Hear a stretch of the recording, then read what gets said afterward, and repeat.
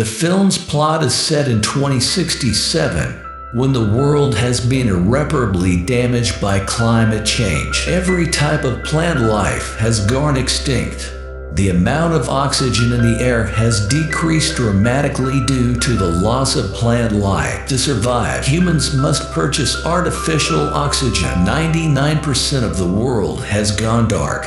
People die from suffocation in such conditions. Just one city in Australia has survived, and it is all because of a company named Chronicorp Company, which manufactures synthetic oxygen. Yet, over time, artificial oxygen causes a deadly illness known as the sickness. Mankind has only a few years before it becomes extinct. Ethan White resides in the Australian city. He and his friend Jude are mechanics at the Chronicorp firm.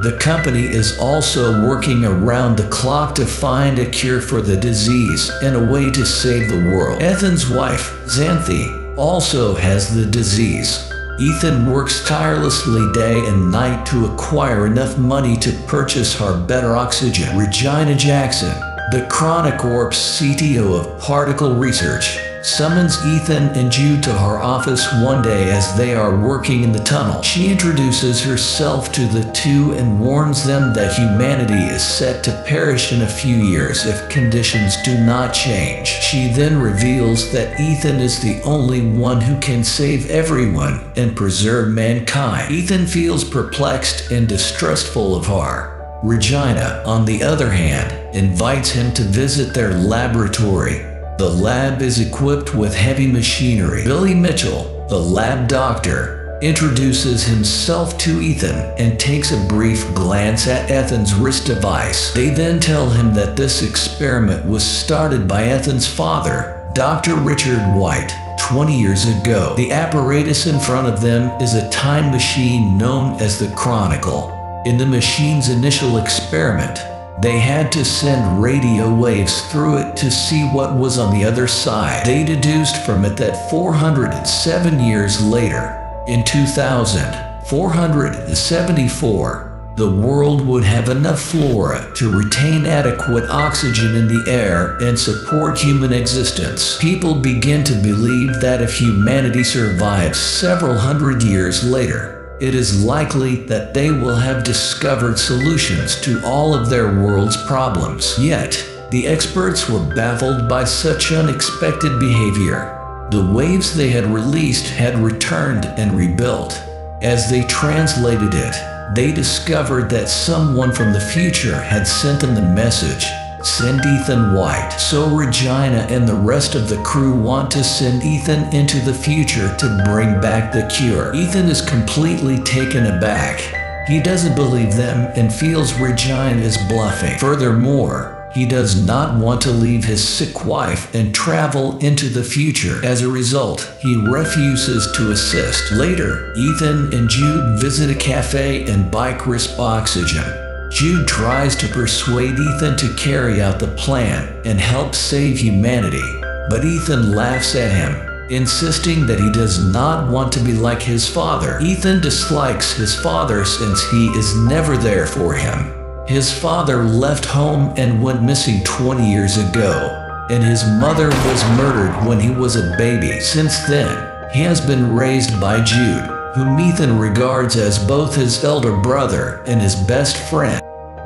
He blames his father for abandoning his mother to finish the project, and he does not want to follow in his footsteps and abandon his sick wife. But Jude attempts to persuade him that the only way he can save his wife is to find a cure. Ethan recalls his ninth birthday when his father gave him a strange box as a present. When he places his hands inside the box, a device clamps onto his wrist and causes him to bleed. Richard had fitted his child with a permanent hand gadget.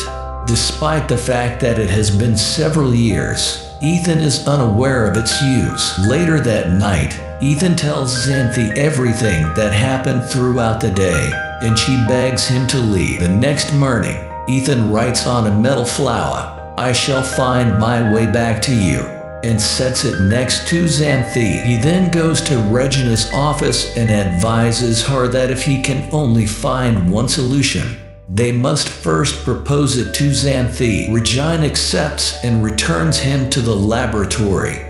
Dr. Mitchell shows him the clothes he must wear before entering the machine. When they begin to outline the mission to him, Ethan realizes they need a strategy. They have no idea what he will see or who he will meet on the other end. But once he is in the suit, they give him an AI device called the Archie. Archie will always show Ethan's vitals from the lab. That will also help him find his way around. Eventually, they inserted him into the machine. Inside, Ethan flies across time at breakneck speed. He plummets from the sky and lands in an unknown wilderness.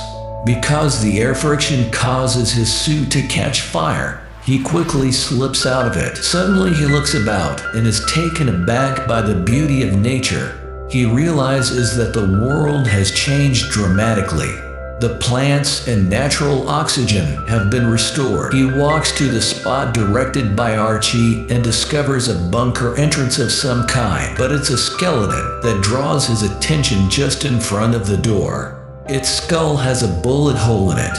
He also looks at the identification tag on it and is surprised to see his own name on it. Ethan is the owner of the skeleton Ethan also finds the skeleton's Archie and listens to the final recording on it. He shoots Ethan after hearing a man say that this is the only way. Right then, the device's power is turned off. He is terrified, knowing that this is his fate. He notices the skeleton's wrist gadgets all of a sudden. It's identical to Ethan's. Only the light in the skeleton's device flashes green, whereas Ethan's has always been red. He builds a fire and eats wild berries that night. The berries turned out to be poisonous. Ethan vomits and becomes unconscious. After a while, Ethan awakens and is surprised to see Jude in front of him. As it turned out, the lab noticed Ethan's vitals dropping and believed he was suffering from a toxic reaction. As a result, they immediately dispatched Jude into the future with the necessary medicine to save him. Later, Ethan and Jude find that his skeleton remains there, indicating that his fate hasn't changed. They then employ Archie to find another door. A device scans Ethan's eye and grants them access. A monitor welcomes him as they enter. It requests a DNA sample from him. When he receives it, his wrist device activates, causing him to bleed. It turns green after the blood test. The lights in the room turn on, and they realize they are in Chronicorp's lab 407 years later. The time machine is also in front of them. Jude is overjoyed since they now have the equipment to travel back in time, but Ethan is skeptical, arguing they haven't changed anything and that he will die just like the deceased Ethan. Ethan studies the system log and discovers a holographic recording made by his father, who discloses that the time machine was originally designed to collect oxygen data on the future planet and then send it back in time. Yet, when his father first started the time machine, he received a message asking him to send his kid to the future despite his reservations. He chose to do so and performed a DNA verification here for Ethan. Eventually, Ethan and Jude realize that the time machine will be unable to transfer them back because its charge is nearly depleted after 407 years. Worse, activating the lab causes a breakdown in its nuclear power core, threatening to unleash a nuclear disaster in just four hours. This means they must devise a way to repair the time machine and return to before the disaster. They were running out of time and needed to act quickly. Outside, they are astounded to witness a damaged metropolis covered in lush vegetation but devoid of residents, implying that the planet starts to restore itself after human extinction. Human bones may be found all over the place. As Ethan gets at his wife's house, he discovers her bones which causes him to despair. Jude tries to persuade him to return to the past because the cure does not appear to exist even in the future world. But Jude's remarks make Ethan suspicious. He then turns on the resting Archie and plays the recording again.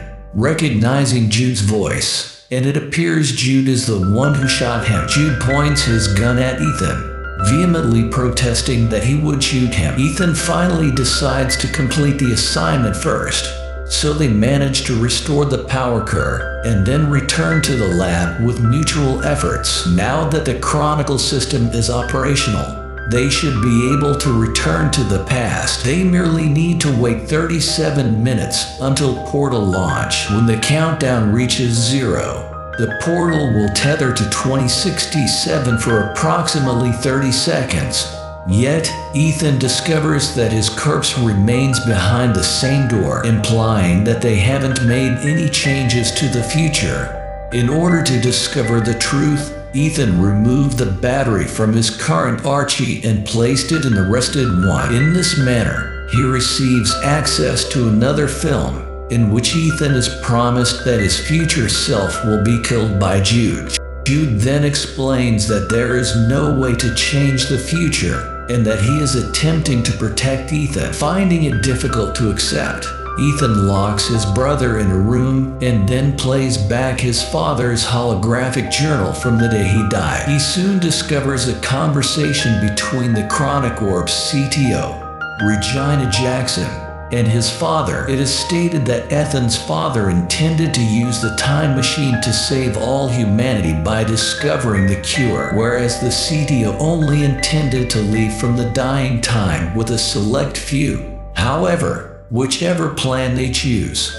someone must travel into the future and turn on the time machine to safely send living matter through time. It requires an operational link from both sides. The CTO murdered Ethan's father instantly in rage. She then urges Jude to murder Ethan's mother and be his guardian so that one day they may use Ethan's bracelet to gain access into the future. Ethan is astonished the man he believed was his brother turns out to be the one who murdered his mother and plans to kill him as well. He also realizes that he has misinterpreted his father, who did not abandon the family on purpose, believing that Regina intends to send a select few into the future. Ethan attempts to shut down the time machine, but Jude rushes to stop him and reveals that he's been entrusted here by the CTO to ensure that Ethan is sent in time to fix the power outage. Yet, Jude has formed strong emotional relationships with Ethan throughout the years. He feels guilty seeing his brother-like companion in such a predicament due to him. As a result, instead of murdering Ethan, he shoots himself. In rage and sadness, Ethan is determined to carry out his father's final wish, which is to find the cure and save the dying world. He looks at the monitor and sees the very first message written by his father. He deduces that he sent the message send Ethan White. Then he codes in the message again and sends it back in time, along with a slew of other items. Meanwhile, in the year 2067, the CTO and a group of elite, selected individuals wait expectantly for the time machine to be activated. To their horror, the time machine brings back hundreds of extinct species, as well as a copy of Ethan's father's recorded murder. Ethan destroys the time machine shortly after, resulting in the collapse of Victo's scheme. Finally, the CTO is arrested as a result of the murder Plants carried back to 2067 are being cultivated in order to replenish the earth. Ethan's wife receives a flower present from him as well, and she understands his decision, despite the fact that Ethan must live in the future world alone. He buries Jude and forgives him. A butterfly catches his attention and leads him back to the same entrance where Ethan is relieved to realize that his future self's body has vanished. He dashes outdoors to see what's going on and is relieved to discover a futuristic, eco-friendly metropolis. As opposed to the deserted one from before, his decision had an impact on humanity's fate.